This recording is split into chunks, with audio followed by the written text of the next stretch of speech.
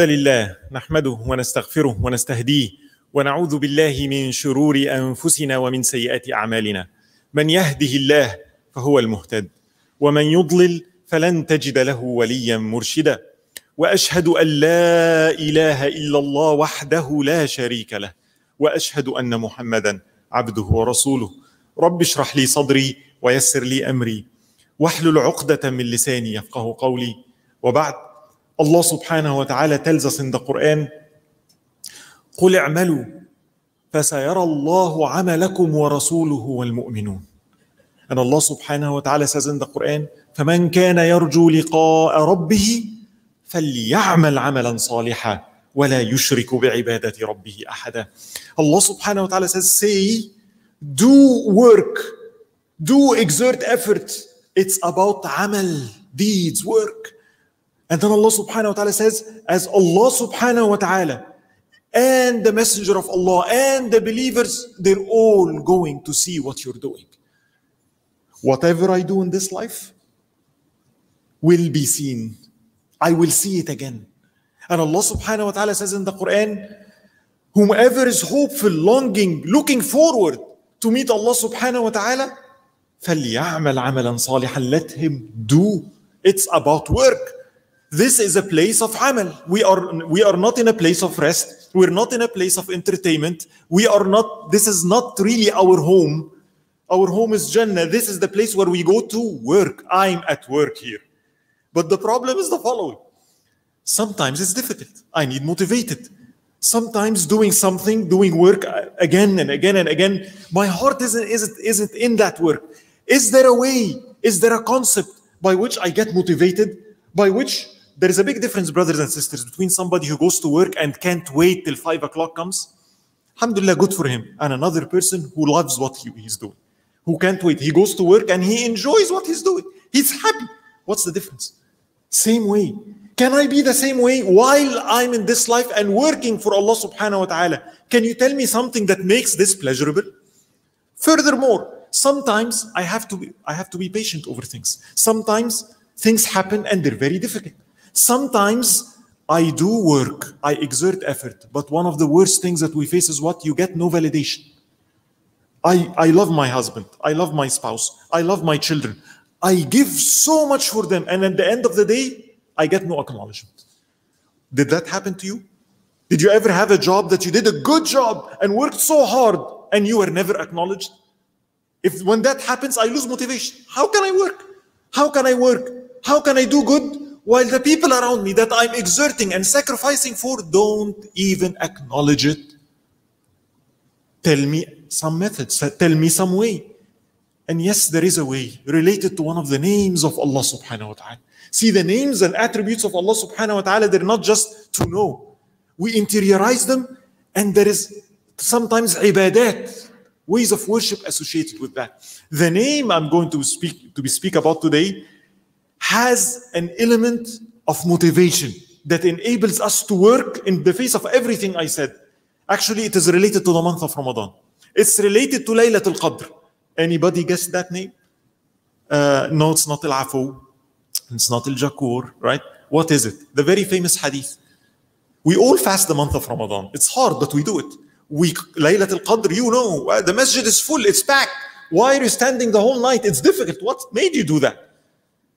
من صام رمضان ايمانا و واحتسابا غفر له ما تقدم من ذنبه من قام ليله القدر ايمانا واحتسابا غفر له ما تقدم من ذنبه when, the prophet ﷺ says whoever fasts the months of ramadan not because i'm going to lose weight but in faith and ihtisab the concept of ihtisab the name of allah subhanahu wa ta'ala is al-hasib what does that name mean and how do I apply it?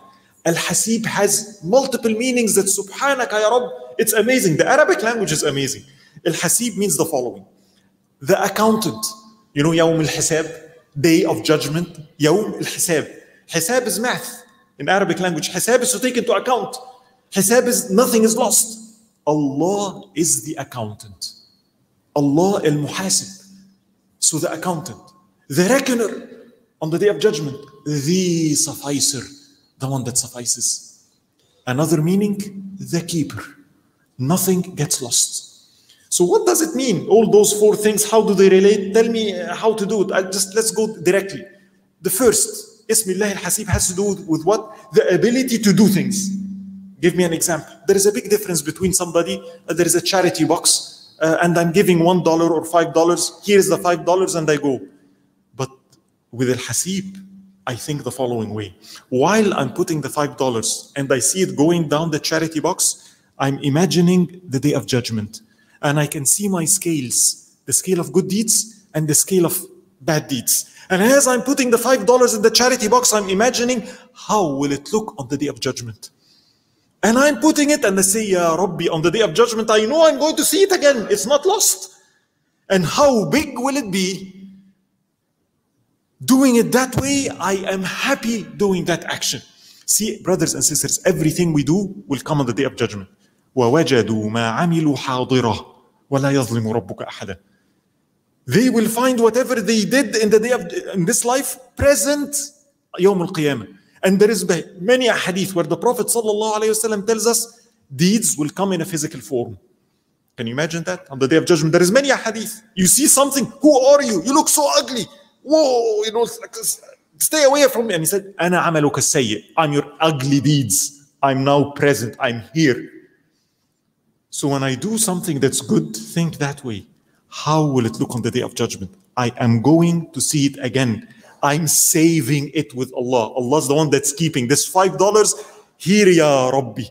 And yes, I see. I go outside, there is a bee, a puddle of water, the bee is sinking in the puddle of many of us will say, just let him die. It's okay, it's just a bee. Some of us, I'm a good human being, just let us save him, save that ant from the water. But there is a big difference between another person who sees an ant drowning in water and says, you know, you know, I'm going to save him.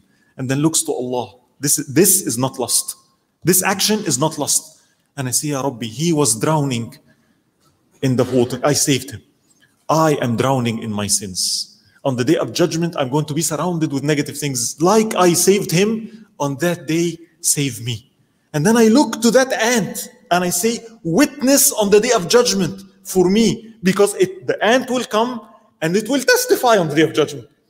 There is a big difference between me walking outside seeing a tree and while I'm walking beside the tree, I say, La ilaha illallah. And then I look to the tree on the day of judgment. Witness, I passed beside you. And I said, La ilaha illallah. Rabi' ibn al-Khuthaym, one of the greatest of the tabi'een, whenever he wakes up in the morning, he would do something really interesting. You wake up in the morning, look again how he sets his mind with this concept. He says the following, after the dhikr, of course. Salamu alaykum ya malaikat Allah. Uktubu. Subhanallah, alhamdulillah, la ilaha illallah, Allahu Akbar. Subhanaka Rabb. He starts by greeting the angels. Salamu alaykum, O angels of God. Who is he speaking to? I have two angels. Everything is recorded. Everything I say or do, I will see again. So the first thing he does, that's how he starts his day. He greets them. He makes himself aware. I have two, two angels that are recording. Everything is recorded. So salamu alaykum ya malaikat Allah. Peace be on you, O angels of God. Write down. He speaks to the one on the right. Write down. Subhanallah, Alhamdulillah, La ilaha illallah, Allahu Akbar. That's what I'm saying. Write it down. Keep it in my record. It's going to be kept. This is a way, when we worship this way, it empowers us to do more and more and more. Nothing gets lost. The Prophet ﷺ says, ما من عبد المؤمن ينفق على أهله نفقة وهو يحتسب إلا كانت له صدقة there is not a believing servant among you that spends money on his family. I mean, did you spend on your kids? Did you spend on your wife? Did you get her a car? Did you get your child clothes? Did you get him diapers? How much did you spend on your son? Subhanallah, look how Allah works. When I tell you spend for the masjid, it's a hundred dollars and it's difficult, a thousand dollars and it, but it's my son, twenty thousand dollars over the years, a hundred thousand dollars. Who knows? So Allah did what? Allah gave me a son. I love my son. Because I love my son, I spend on him. The hadith says, if you're spending on your son because you love him, spending on your wife because you love her. But if you make ihtisab, ihtisab meaning what? Whatever I'm spending on him, Ya Rabbi, you see it. It is counted as if it's a charity. Subhanallah. So this concept of ihtisab, the ability to envision the hereafter, basically أن تعد ال- ال- الشيء في الأشياء المدخرة. طلب الأجر والثواب على العمل. That I'm anticipating the reward from Allah. What enables me to go for a university? Five years of study. And it's hard. And I'm studying at night. W- Why? Six hours, eight hours. You, if you've been a student before, because I have a clear image, I can see my degree. I can almost see my certificate. I see my job. I see myself being an engineer one day. Oh, I'm going to be making, inshallah, a lot of money. Oh, now I can get married. The ability to see the consequences empowers me to do. And psychology says the same thing. Actions are the function of the consequences. The ability to see al-Hisab, that I meet Allah subhanahu wa ta'ala and show Him enables me to do. But more importantly, brothers and sisters, and this is perhaps the most important point, we practice the concept of ihtisab in small things like that because it is much needed when difficult things happen. When I encounter an enemy that I cannot overpower, sometimes it happens. When somebody betrays me, did this ever happen to you? Did you ever trust someone, did good to someone, hope to do, and then you were stabbed in the back and you could do nothing about it? That person was more clever. I can't take him to court. He fooled me. How do we feel? You know why we feel the pain? Because there, when you feel there is no meaning, the human being is looking for a meaning. What enables me to work so hard? Because I, I see the result of my work, my kid goes to the university. But what if I raise my kid and at the end of the day, he became, astaghfirullah, a non-Muslim or gave me a hard time? I feel it was in vain.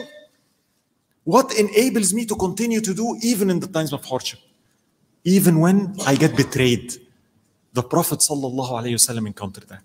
Sometimes we live in this life and unfortunately, we are sincere and we work but we don't get the proper treatment. We're stabbed. That Allah subhanahu wa ta'ala says to the Prophet sallallahu alayhi wa sallam, وَإِن يُرِيدُوا أَن يَخْدَعُوكَ فَإِنَّ حَسْبَكَ اللَّهِ If they want to trick you, because he's dealing with people of Quraysh, he's dealing with people, people aren't that good. But yet, if I live life with people are not good, I can trust no one, I won't be able to live. Can I love knowing that I can lose? Can I trust knowing that I can be betrayed? Can I try knowing that I can fail? So Allah tells the Prophet if they intend to trick you, if they want to double cross you, Allah subhanahu wa ta'ala is your sufficer. He's there for you. So what happened? I'll give you one story. This happened in the time of the Prophet sallallahu alaihi wasallam. The Battle of Badr, when he sallallahu alaihi wasallam won a major victory. Uh, there is a tribe that came to the Prophet wasallam and said, "You know what? We want to become Muslims. We saw what happened in the Battle of Badr. Good. We want." And he wasallam, of course, was so happy. Imagine you see like a whole group, a whole school coming here and saying, "We all want to become Muslims." How would you feel? MashaAllah, la ilaha illallah akbar. And he was so excited. Took the, they took the shahada and then they told him, "O Prophet of Allah, we're serious. We want to study Quran. We want to understand more Islam." Why don't you send some people with us to teach us our religion so that we are better Muslims? Send someone to help us out. And the Prophet, wasallam, of course, trusting, he selected some of the best companions, some of the people that memorized the Quran. Among them was Khubayb ibn Adi. Great people from the Ansar, one that memorized the Quran. And he wants to do good. I'm going to go help those people out. I'm volunteer. Yeah, yeah, I'll go. I'll live with them for the sake of Allah. See? And they're going to memorize. And they go, and guess what happened? As you all know the story, this tribe did not become Muslims. They betrayed. They thought about something very evil. After the battle of Badr, they saw Quraysh is really upset, very angry. And they said, that's a good opportunity. We go to the Prophet, alaihi we pretend to be Muslims. We tell him to give us some of his companions. We take them, we capture them. We go to Quraysh, sell them to them. Do you want to pour your vengeance on someone? Do you want to like, here are some of the companions of the, you know, the one that uh, defeated you in the battle of Badr? Here, we got you some of them. Go ahead. How much would you pay? How evil is that? But that's what they did. And indeed, they betrayed, and the story is long. They captured them. Khubayb ibn Adi was one of the people that got captured, right? And then they take him to Mecca. And Khubayb ibn Adi fought in the battle of Badr. And the people of Mecca recognized him. Some of them said, You, you're the one that killed my dad, Al Harith, in the battle of Badr. We know you. woe unto you, you will see what we'll do. And they, of course, said, we'll buy him with anything. And they gave, of course, a lot of money for him. And then they took Khubayb ibn Adi. But there was one problem. It was al-Ashhur al-Hurum, the sacred months. You can't harm a person in the Shahr al-Haram. And they respected that. So they told Khubayb, woe unto you. Just, it's that month. Wait till that month is over and you will see what we're going to do to you. It's not even going to be easy. Yeah, you'll see. You killed our dad, you'll see what we're going to do to you. If you are Khubayb, what? I'm helpless. I can't overpower my enemy. I'm chained. And for what? Because I wanted to do good. Because I trusted. Because I wanted I wanted to help out. Now look at me. I'm going to be tortured and there is no way out. But Khubayb ibn Adi, the first thing he asked for, they kept him a prisoner in a house, chained. Says, Can I have a razor? Why do you want a razor? I'm a follower of Muhammad. I have to trim my mustache. Muslims are clean. I need to, you know, take off some hair. I need a razor. Hygiene. I'm a, Muslims are clean. I have to do that. Okay, akhi, the sunnah of Muhammad in that situation, yes, they gave him a razor. Then the woman of that household, you know, the household he's captured, narrated something really powerful. She said, One day I entered onto Khubayb and he's chained, and I found the following. In his hand, one of his hand is the razor. And on his lap is my son. She had a two years old, three years old. And it tells us a lot about Khubayb ibn Adi. Look what character he had. The children in the household were playing with him. So she said, I entered, I saw the razor on one hand, my son on his lap. If you are Khubayb, what would you do? You betrayed me. Uh, I need a horse right now, else I'm. You betrayed me. You betrayed Muhammad sallallahu alayhi wasallam. You're going to torture me. But Khubayb ibn Adi looked at her and he saw the woman was scared. What will he do? It's my son.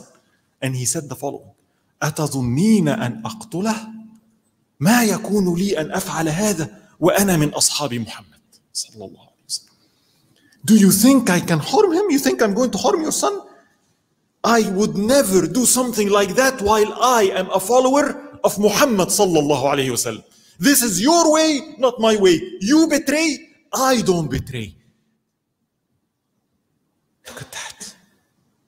This is a person that witnesses to Muhammad Rasulullah. Where are we from Khubayb today? Yes, I've been oppressed. Yes, she did this to me. Yes, my husband did this. Yes, he oppressed me. It doesn't mean I become a monster. You're not my teacher. I'm not following you. And the woman was so amazed that she became interested in Khubayb and she narrates other stories. She said, I went one day, I peeped, you know, from the, the door to see what Khubayb is doing, and I find him sitting, and in front of him is a big plate with the fruits, you know, uh, uh, grapes and what have you. And she said, It's not the season of those fruits. There is no fruits like that in Mecca. And I realized it's a miracle. Allah subhanahu wa ta'ala, وَمَنْ يَتَوَكَّلْ عَلَى اللَّهِ فَهُوَ حَسْبُهُ حَسْبُهُ كَفِيهِ Allah gave him that. But here is a question. Ya Rabbi, if, if Khubayb is so high, the miracle would be break the chain, save him. Right?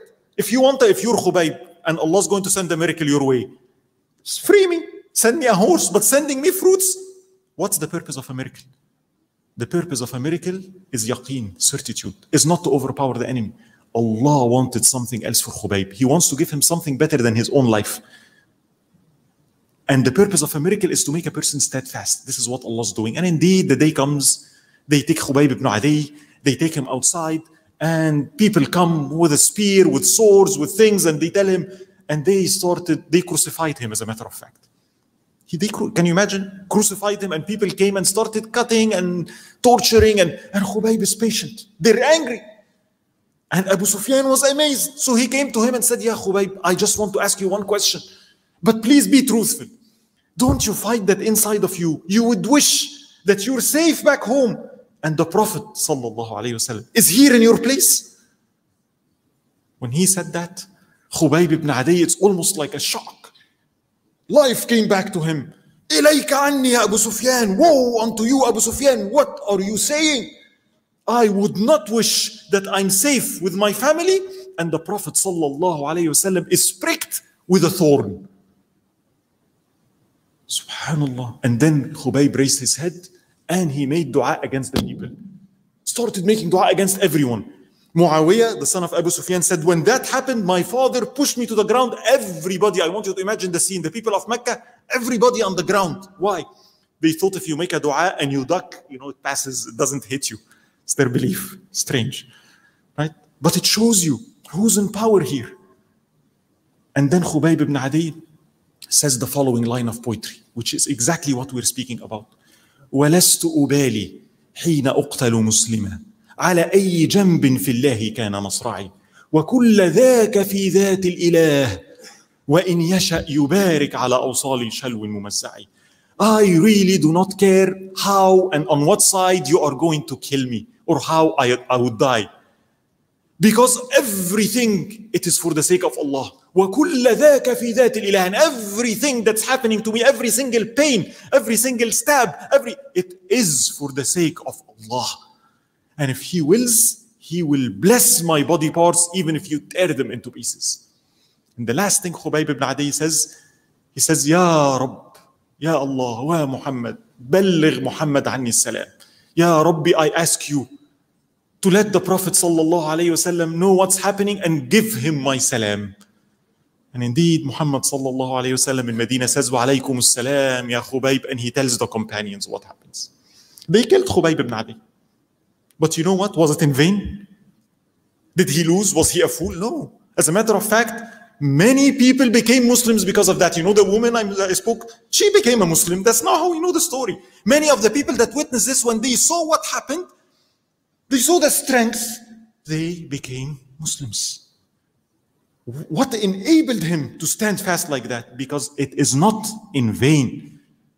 Human beings, we need one thing in our life. It is this life is not about happiness, it's about meaning. When I go to work, it's not about happiness in my job, it's the meaning. What's in it? What does it result in? What will I get?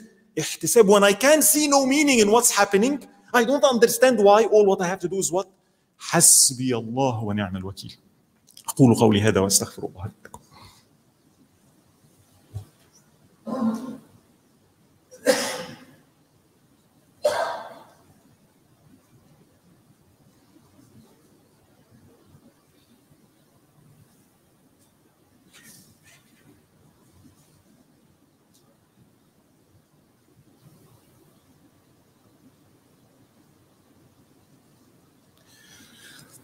بسم الله والحمد لله والصلاة والسلام على أفضل المرسلين سيدنا محمد وعلى آله وصحبه الطيبين الطاهرين وبعد The Prophet صلى الله عليه وسلم a practical action item before we close He said because this concept of ihtisab I need to practice in the times of ease so when difficulty happens I say what حسبي الله ونعم الوكيل suffices me that Allah knows. It suffices me that Allah sees. Even if you don't tell, if you don't see, even if you don't acknowledge, even if you don't validate me, you know what?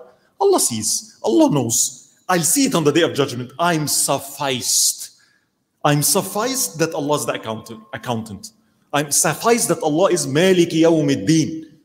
And the Prophet ﷺ told us practical action item. Whomever every single day in the morning says, Hasbi Allahu la ilaha illa huwa, alayhi tawakkalt, wa huwa rabbul arsh al-azim, seven times.